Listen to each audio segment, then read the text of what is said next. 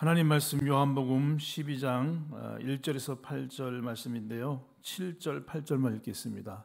요한복음 12장 어, 1절에서 8절인데 7절, 8절만 읽도록 하겠습니다. 7절, 8절 요한복음 12장 읽겠습니다. 7절 읽겠습니다. 예수께서 이르시되 그를 가만히 두어 나의 장래의 날을 위하여 그것을 간직하게 하라. 가난한 자들은 항상 너희와 함께 있거니와 나는 항상 잊지 아니하리라 하시니라. 아멘. 예, 저도 이렇게 한 장씩 이렇게 넘어가고 있는데요. 요한복음 12장 여러분 잘 아는 아, 향유 옥합을 깨뜨려서 예수님의 아, 십자가의 죽음을 아, 준비하는 그 마리아에 대해서 이렇게 나오고 있습니다. 그래서 오늘 제목은 그것을 준비하라. 그것을 준비한 마리아. 그것을 준비한 마리아. 그것을 준비한 마리아. 아, 예수 음, 마리아는 무엇을 준비했냐? 물론 향유 옥합을 준비했지만은 마리아에게 있어서 가장 아, 그 예수님의 십자가 아, 고난 죽으심을 미리 준비했습니다. 오늘 본문 내용을 가지고 여러분 사실 죽음을 준비한다는 것이 그 중에 나를 나의 죽음을 준비한다는 것은 뭐 생각도 안 해봤고, 어, 근데 가족 중에 가족 중에 또 우리 어, 성도 중에서도 암으로 또 질병으로 또 가족 저는 뭐 그 경험을 안 해봤지만 가족 중에 또 부모님의 아, 소천을 앞두고 있다. 그것도 이제 뭐 당장이 아니라 뭐 시한부 인생을 선고받고 아, 준비하고 있다 하면 다를 겁니다 무게가. 그런데 뭐 남은 또 틀리겠죠. 네, 마리아는 오늘 본문에 예수님의 십자가의 죽음을 준비하고 있습니다. 근데 어, 별로 다른 사람들은 시원치 않습니다. 그래서 오늘 첫 번째로 어, 어제 태풍이 온다 해가지고 저도 이제 김포에서도 아주 시골이라 어, 야 차나라가 어떡하냐 그랬는데 오늘 보니까 폭풍도 안 하는데 폭풍 맞은 분들이 많이 있어요. 새벽 기도 많이 못 나온 분들도 있는데 여긴 괜찮은 것 같습니다. 이 서울 쪽에는 아, 첫 번째로 우리가 어, 기억해야 될 것이 뭐냐면 그것을 준비한 마리아입니다. 오늘 요한복음 12장 3절에도 보면 마리아는 지극히 비싼 향유 곧 순전한 나드 한 근을 가져다가 예수의 발에 붓고 자기 머리털로 그의 발을 닦으니 향유 냄새가 집에 가득하더라. 아, 당연히 여러분 아는 부분이잖아요. 어, 그 12장 7절에도 보니까 예수께서 이르시되 그를 가만히 두어 나의 장례할 날을 위하여 그것을 간직하게 하라 이렇게 어, 향유옥합을 깨뜨렸습니다. 마가복음 14장 동일한 그 이 현장인데 마가복음 14장 8절에도 보면 그는 힘을 다하여 내 몸에 향유를 부어 내 장례를 미리 준비하였느니라. 아, 이게 이제 뭐 그 장례 치르고 나서 이제 이렇게 아, 무덤에 거기 물론 거기는 이제 우리처럼 그런 무덤이 아니니까 돌 무덤이니까 냄새 나지 않도록 향유를 바르는가 봐요. 근데 미리 이제 준비했는데 아, 마리아가 왜 예수님의 그 향유를 준비했을까요? 아, 그, 그 중에서도 보면 가장 비싼 향료를 준비했을까요? 그게 여러분이 요한복음 12장 1절에 잘 나타내주고 있는데요. 12장 1절에 보면 6월절 엿새 전에 예수께서 베다니에 이르시니 이곳은 예수께서 죽은 자 가운데서 살리신 나사로가 있는 곳이라. 거기서 예수를 위하여 잔치를 할새 따르는 일을 마르다는 일을 하고 나사로는 예수와 함께 앉은 자 중에 있더라.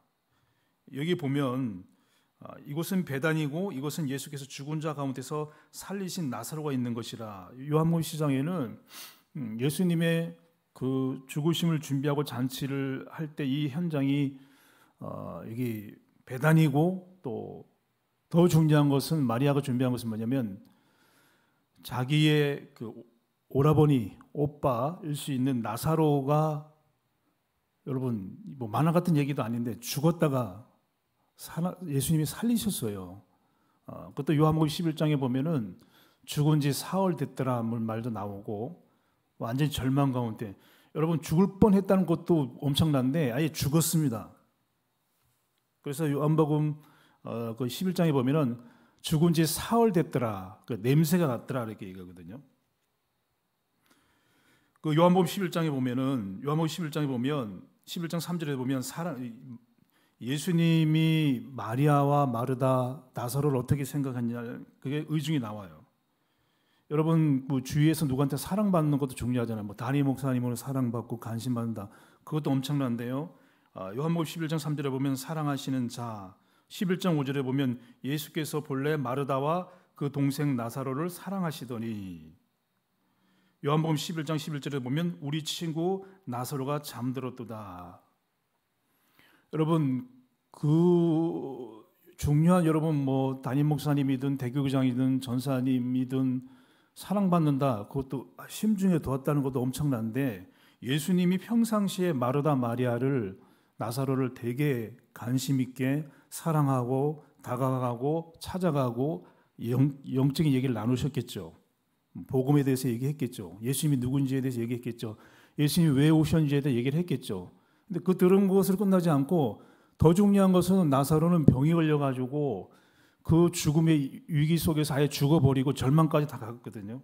그러니까 절망, 죽음, 고통 다 그 현장에서 예수님이 마루, 그 나사로를 살리는 걸 나사로야 나오너라. 그것까지 경험했으니까 뭐 향육하기 문제겠어요.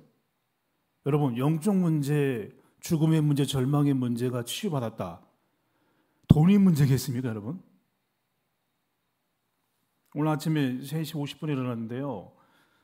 뭐 새벽 예배를 늘 드리는 게 아니고 그냥 뭐 한두 명 들고 드리는 게 아니라 우리 교회는 크니까 의식이 그러니까 부담감이 있겠죠. 그래서 뭐가 땡기는 것처럼 계속 자다가 일어났죠. 3시 50분 일어나는데 뭐 그냥 한두 명 듣고 매일 예배 드리면 그 새벽에 부담 없잖아요. 근데 뭐 한 번 드리는 거니까 부담이 있는 거죠. 뭐 그리 뭐 비몽상관이 일어났는데 그러니까 일어나자마자 3시 5분에 묵상하는데 아 생명 근데 이게 피부로 안 나와요. 나에게 생명을 예수 생명을 주셨구나.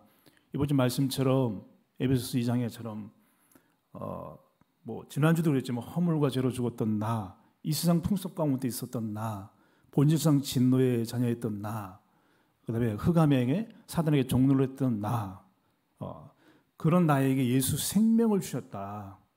다시 말하면 예수님이 십자가에서 모든 저주를 이사 53장 6절 말씀처럼 그에게 담당시키시고 그리고 대속해 주셨고 여러분 우리가 빚이 10억, 20억 뭐 그건 너무 큰 거고 뭐 5억, 3억 있는데 그것도 몇 천만 원 있는데 평생 못 갚을 돈을 다른 사람이 갚아줬다. 그것도 있지 않는데 엄청난 원죄와 자범죄와 지옥과 멸망으로부터 우리를 구원해 주셨다. 구원해 주러 오셨다. 그러면 그분이 항로옥합의 문제겠습니까? 전혀 그렇지 않습니다. 마리아는 실제 예수님의 들었을 뿐만 아니라 오라버니가 죽은 현장도 봤고 절망도 봤고 가능성 없는 것도 봤고 예수님도 엄청 들었던 거 사랑하는 자 찾아왔던 그 모든 것을 총 집합해서 다 들어서 예수님이 십자가 앞에서 향유옥합을 깨뜨려 버렸습니다. 마리아는 무엇을 준비했습니까? 그것을 준비했다는 말은 예수님의 십자가와 부활을 우리에게서는 성삼위 하나님의 비밀을 미리 영적으로 준비했습니다. 그러니 마리아 속에는 구원과 기쁨과 새벽에 일어나가지고 묵상하는데 생명 우리 목사님 늘 생명 얘기하는데 여러분 우리가 아침에 딱 일어나는데 아 나에게 오늘 10억이 들어온다 1억이 들어온다 몇 천만 원 들어온다 해도 기쁠걸요? 안, 안 기쁘세요? 아 예. 안 기쁘군요. 엄청날 걸 내가 생명 원죄와 자범죄와 모든 저주로부터 내가 영원한 생명 영생이 기다리고 있구나 그러면 마음속에 깊이면 팍 올라와야 되잖아요. 와, 즐겁다. 나에게 생명을 주셨구나. 이 저주로부터 재앙으로부터. 근데 그게 저에게 이게 뭐 별로 이렇게 팍 없어요. 그러니까 안 되는 거예요. 흑암과 저주와 재앙으로부터 문제로부터 계속 휩싸이는 거라. 그 생명이 팍 튀어나와야 모든 흑암이 무너지는데. 그래서 우리는 마리아처럼 그것을 준비한 마리아. 왜 예수님이 오셔야 됐고 또 예수님이 오셔서 어떤 일을 하셨고 지금 그 그리스도께서 우리에게 어떤 문제를 해결해 주신지를 이번 주 말씀처럼 우리를 화목 제물로 오셔서 원수되었던 그 모든 것을 소멸하시고 마귀를 멸하시고 우리의 원죄를 해결하신 그리스도 그분을 누릴 때 우리는 모든 것으로부터 자유할 수 있습니다. 치유받을 수 있습니다. 그리고 하나님의 은혜를 누릴 수 있습니다. 그것이 마리아에게 있어서는 감격이라 우리의 근본적인 뿌리가 거기서 나오거든요. 여러분 보세요. 요한복음 11장 25절 26절 보면 나는 부활이요 생명한 말을 들었죠. 39절 30절에 보면 죽은 지 오래된 것을 냄새나는 그 나사로를 살리셨죠. 43장 요한복음 11장 43절 44절에 보면 큰 소리로 나사로야 나오너라 그러잖아요. 더 중요한 것은 요한복음 11장 45절에 보면 많은 유대인들이 그걸 통해서 믿게 되는 거거든요. 그래서 우리가 끊임없이 그리스도를 통해서 너의 모든 문제를 내가 해결했다.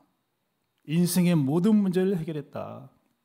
우리에게 화평의 복음으로 어, 생명을 주셨다. 생명 내게 주셨네. 그 찬양이죠 어린이 찬양. 춤추고 막 찬양하면서 그 생명의 은혜가 있을 때 눈에 보이지 않는 흑암과 재앙과 가문의 그 모든 것들이 떠나가게 되어 있습니다. 모르는 거예요. 저도 잘 모르고. 그, 그 기도를 그래서 바울은 지난주 말씀처럼 그때 그리스도 밖에 있었고 소망도 없었고 하나님도 없었고 원수되어 있었고 여러분 하나님과 화평을 누린다. 엄청나잖아요. 여러분 사랑하는 사랑하고 관계가 틀어졌을 때 그, 그 얼마나 여러분 괴롭습니까? 근데 만왕의 왕이신 하나님을 우리가 날마다 만날 수 있다.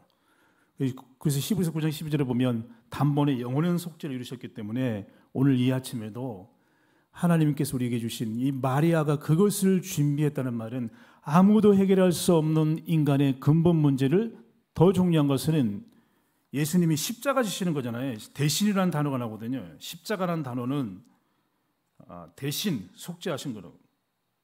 갈라서 3장 13절 보면 그리스도께서 우리를 위하여 저주받은 바 되사 율법의 저주에서 우리를 성령하셨으니 기록된 바다 나무에 달린 자마다 저주 아래 있는 자라. 대신 저주받았기 때문에 저주받으면 안 됩니다.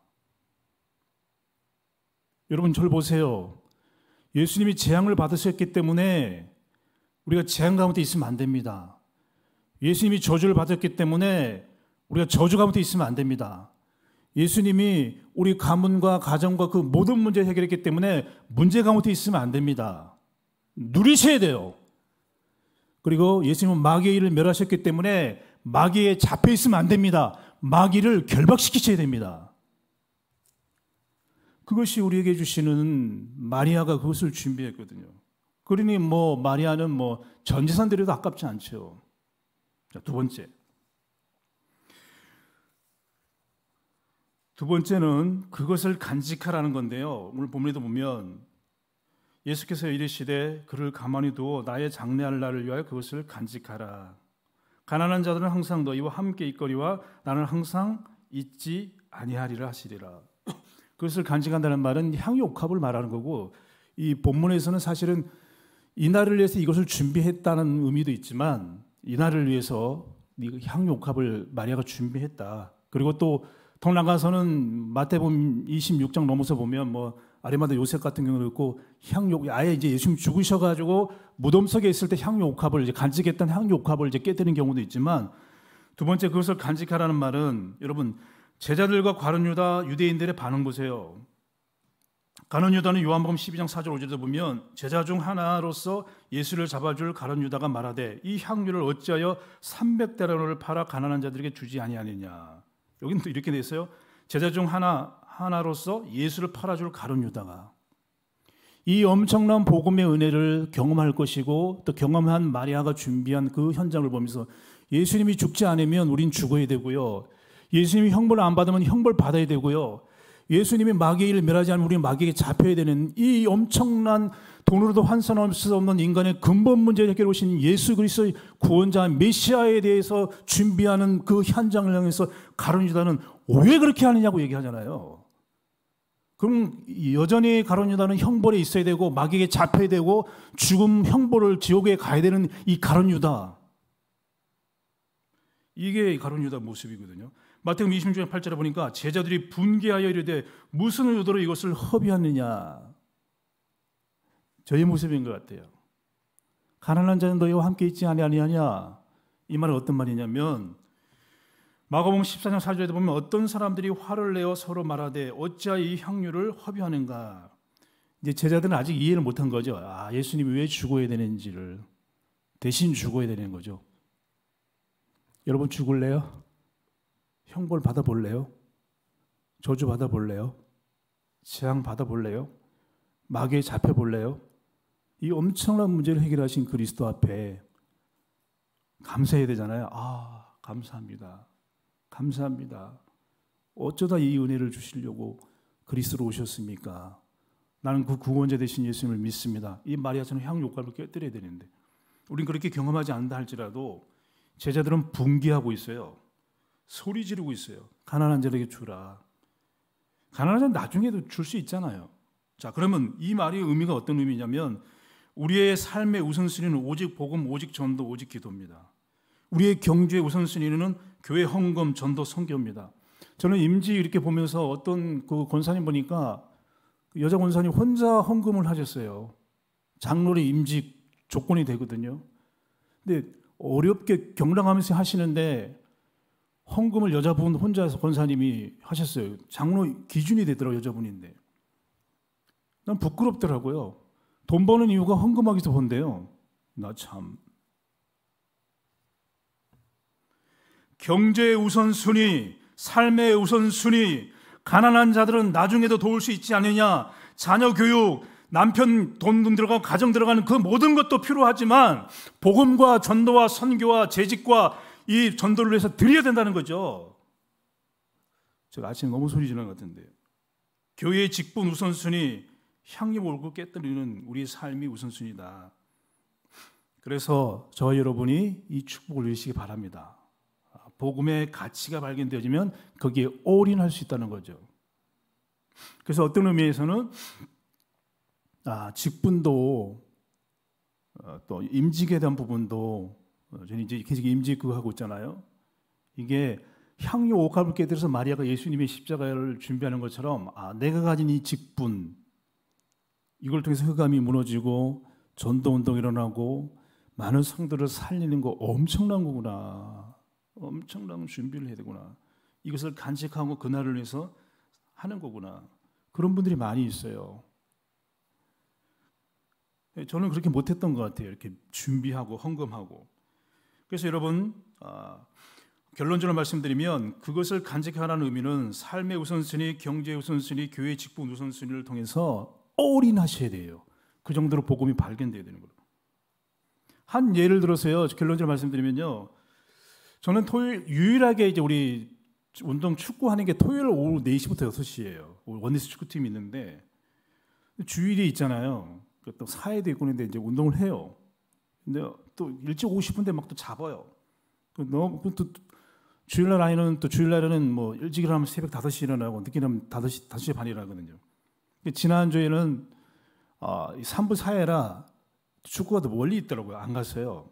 일, 그래서 토요일 내내 이렇게 기도하면서 또 본문이 또 길 때는 되게 긴장돼요. 성경 본문. 본문이 뭐 몇 절이면 할렐루야 하는데 본문이 막 열 절, 뭐 열세 몇 절이면 진짜 여러분 해보세요. 아나운서도 틀리는데 그게 언제 어떻게 틀지 모르는데 본문이 성경 읽다가. 그 토요일 날 이번 주는 축구 안 가고 하루 종일 이렇게 성경 읽고 묵상하는데 얼마나 좋던지요. 또 아침이라 기도하고. 그또 3부 제가 사회인데 3부 사, 그 기도하신 대표 기도하는 장로님이 처음 하시는 장로님이라 속으로 아, 그 장로님 또 버벅거리면 어떡할까 계속 그 장로를 계속 기도해주고 기도 얼마나 잘하시던지 결론적으로 말씀드리면 그것을 미리 준비하는 겁니다. 예배, 예언의 강단의 말씀, 본부의 흐름의 말씀, 그것도 말씀 붙잡고 하루 종일 기도하면 반드시 이런 응답들이 저와 여러분이 일어날 줄 믿습니다. 마리아처럼 복음을 그 그리스를 준비하는 저와 여러분 되시기를 예수 그리스도로 축원합니다.